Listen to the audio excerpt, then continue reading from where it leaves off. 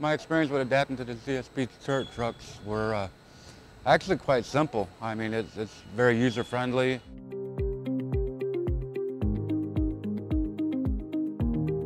My name is Mark Booth. I am the Vice President of Supply Chain Technology here at Southern Glazer's Wine and Spirits in Lakeland, Florida. Southern Glazer's Wine and Spirits is the largest liquor distributor in the United States. So when we started this project, we were expanding a 800,000 square foot facility to become a 1.2 million square foot facility.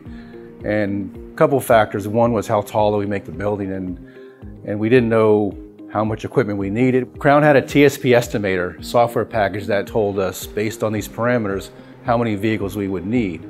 Today, three and a half years later, the tool has proved itself to be very accurate. Today we're using the TSP lift trucks primarily to take pallets off of our receiving dock and store them in uh, selective racking in a 57 foot clear facility.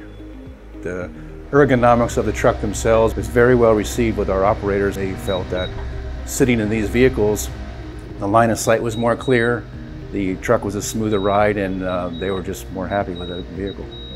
My experience with adapting to the TSP trucks were uh, actually quite simple. I mean, it's, it's very user-friendly. With, with the mask being in the center, it's easier to be able to see behind you and beside you.